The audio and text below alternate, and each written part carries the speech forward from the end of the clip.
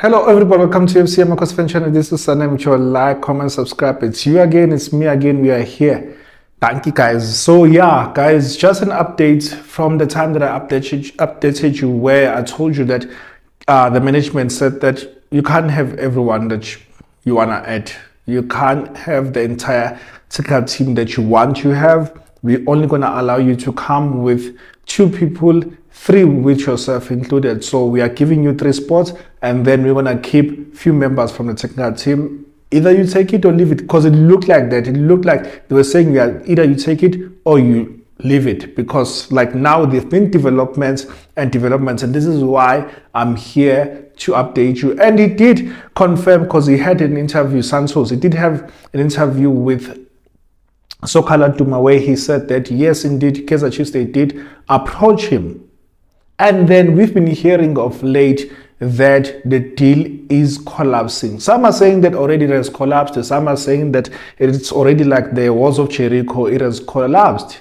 There's nothing that's going to happen. Why are they saying so? Because there's been another coach who's been uh, brought in the picture now. I'm going to tell you more about that um, updates as well. But for now, Santos and like let me tell you this the media will keep on writing and writing and writing and writing. And you might hear PR, PR Spin from Kaizer Chiefs saying that we never spoken to Santos. And you can tell that's a lie that they've never spoken with Santos when they, his agent has have, have been to Naturena and he has spoken to the management. So they can spin it all that they like because they like to protect themselves even if they fumble because it seems as if they fumbled this deal it looks like they fumbled this deal that's why this deal is collapsing then you will hear rumors that no, they did not agree with Santos because Santos was uh, requiring or he, he asked for like a big and a huge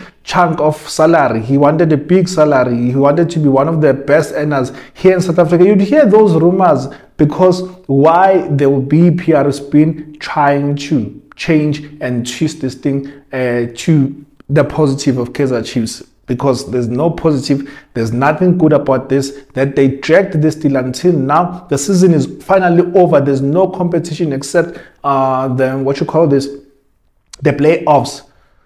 The playoffs for those that you are going to be promoted to the PSL, but there's nothing that is happening that is like delaying Kaizer Chiefs from finalizing any deal at the moment. Sorry, but you'll hear that hey, no, we're waiting for this, we're waiting for that, hey, this and this and that. So at the moment, I can safely tell you guys that the deal is collapsing if already it has not collapsed. Why it has collapsed It's not because of the high demands, but Kaizer Chiefs, Kaizer Chiefs, Kaizer Chiefs, Kaizer Chiefs, they're interested in another coach. Yep, they're interested in the coach. But I can say to you that already Kaizer Chiefs are late. Let's say that they would say, no, hey, you know what we saw, we want to continue with this conversation. We want us to sit down again and drink that coffee and, and, and, and eat scones. Kaizer Chiefs seems as if they can be late if they would then go back to Santos. Why am I saying so? There's a rumor that this coach Santos has already agreed verbally verbal with the team from Morocco that he wants to join them. He's a free agent and he just won a league. He's a free agent, he has just won a league, and this means that this coach is on demand.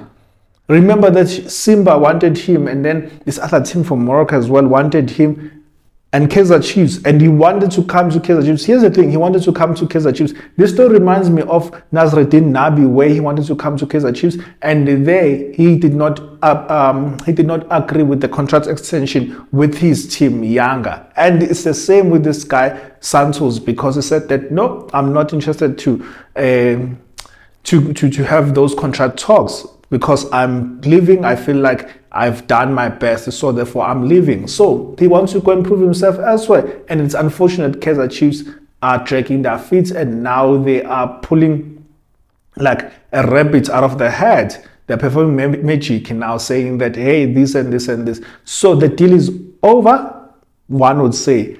I cannot say it's over until I hear another coach being announced. I cannot say it's over until another deal, until another coach has signed for us. Could be that it's over because this guy Verbal has agreed with this Moroccan team that he wants to join them. But, but, but, bringing you into this picture again, Nabi, Nabi is back into the mix. You hear this, Nabi is back in the mix. And I did not want to entertain this. I mean, it's been going on for days now. And I was like, I even said to one of my friends that, you know what, uh, I think it's just rumors, it's just the media. Uh, just choking and wanting to sell their papers because we know even if Kaizer Chiefs can do so bad, but once they mention Kaizer Chiefs in the media, then the paper will be sold. So Nabi is back in the mix. Apparently, apparently, there are so many stories when it comes to this as well.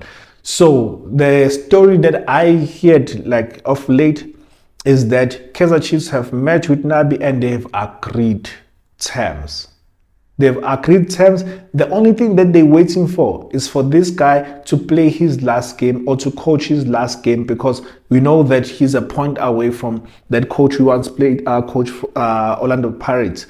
So they are competing there, like they are competing there, and yeah, the league will be over next week or next week. But by the end, what I hear is that, or what I've gathered is that by the 13th of next week, which is like Wednesday, if I'm not mistaken, chances are Nabi would have signed if he finally signs because I cannot, they said do not count uh, uh, your chicken until they're all hatched. So we cannot just say that, hey, Nabi is going to sign because we had agreed then. And then last minute Kaizer Chiefs pulled another magic. Or another trick and said that no you should take this one you cannot take this one. No uh, you cannot touch one and whatnot. Uh, yeah. Because the chiefs they can just make us to look like we are fools or they can make us as, look like as if we are uh, uh, cartoons. Like yeah they can just make us as if we are like kids small kids. Like even now i don't trust them that they can finalize this deal. But there's a rumor that uh, dr Kaizer himself is the one who's negotiating this deal with uh, Bobby along him negotiating this deal with Nabi. There are rumors that he's just folded his sleeves and says that, okay, you know what, Nabi, come, let's talk, Ndota, because I see that my boys are failing. I just want to put in this one because uh, next year is going to be the one that you'll be dealing with. But for now, come, let's talk. Let's finalize this. That could be true. But, but, but, but, but, with Kaizer Chiefs, you never know. With Kaizer Chiefs, you will never know. With Kaizer Chiefs, you'll never know. But yeah, at the end of the day, just to conclude this video, I just want to make a short video and then I want to do another one just to tell you what are the three things that Nabi uh, or why is Nabi the best candidate to coach Kaizer Chiefs. But for now, I would say to you, back in the mix, Nabi is leading. It's like you, that horse race. It's this one, it's that one, it's that one. So, in just in summary, Santos has agreed verbally verbal contract with the team from Morocco because Kaizer Chiefs did not they did not agree with Kaizer Chiefs. And then Nabi is back in the mix and he's gonna come uh, to Kaizer Chiefs by next week. By next week, he's gonna sign by next week. But also, let me just say this also, I don't know how true is this that he's not going to come with his entire technical team. That's another thing that I heard. But you never know, guys, because media can just sell you things that are not there. But there's a rumor that as well. I think Kaizer Chiefs, they are playing a hardball here. They're trying to save up some money here. Because the rumor says that Kaizer Chiefs are not going to uh, give him the entire technical team. And he has agreed. It's a rumor, guys. It's not me. It's a rumor. I'm reacting to the news. The rumor says that he has agreed that he's going to work with few of the people, if not one from the current team. I don't know how true is this because we heard then that Kaizer Chiefs is prepared to support any coach and give him all the entire uh, technical team that he wants to work with. But by the look of things, it looks like he still Kaizer still wants to keep Shepherd because they're forcing Shepherd and so Santos anyway. But we'll see. But for now, I think any coach that will sign will be a coach who has agreed to the terms. What are the terms? It looks like at the moment Kaizer Chiefs are not prepared to do uh, a technical team overall. They want to keep one or two members in that team. Why? Because they can't be paying 5 billion for Nabi, for example, and then also paying these guys off their contracts. It looks like they're trying to save costs somewhere. But that is what is happening. And also, this then touches on another story of Mark Makaab, the agent of so many players here in South Africa. So, Kaizer Chiefs have been in talks. Kaizer Chiefs has been in talks with Mark Makaab's agents, which means those are the players of Mark Makaab's. So Kaizer Chiefs are interested in signing other players, but Mark Makaab came back and said that indeed Kaizer Chiefs are asking my players, they are making requests about my players that they want to sign those players, but the only stumbling block is that they can't sign until they have a coach because that seems to be what is delaying Kaizer Chiefs from signing players. Because there's no coach at the moment they look it looks like Kaizer Chiefs. One which is positive is the fact that they are they want to sign players which is positive. And then two it then means that the reason why they can't sign players at the moment because it looks like they want to wait for a coach to sign for them to sign players. It looks like that. I'm not saying that's the best way of doing business but it looks like it's what they want. They want to wait for the coach to come and then sign the players. It looks like that. So if that's the case, that means that we're not going to sign any players until from next week we start hearing. But the positive thing is that they have like players that they're looking for. That's a positive thing. It's not like under Johnson Johnson says that, hey guys, I don't need any player. We can work, I can work with what I have. Then he finished where he finished now. But anyway, guys, so I'm just touching on the last story to just say and show you the replica effect of Kaizer Chiefs not signing a coach early. That, that then makes us not to sign players early.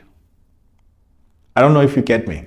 So us not signing players early, who knows these players? They can be snatched uh, in front of Kaizer Chief, Chiefs uh, nose. They can be snatched just like that because I mean they can't they can't sign anyone until the coach signs. Just wanted you to uh, know this. So I'm giving you updates on what is happening. So yeah, guys, that is the current updates. And then I want to do another episode. Please stay tuned just so that you don't miss uh, these episodes or me dropping these episodes please just subscribe just subscribe another thing that you must remember or for those of you are coming here uh, for the first time or those of you just recently joined i do not record every day i record every second day so i can't record every day because of other things that I'm involved in, like being a father, being a husband. I can't record every day, but also I need some time off. I don't know how other guys are doing it, but probably because they are single. I don't know. But yeah, in any case, I don't record every day. I record every second day. So I was supposed to drop this video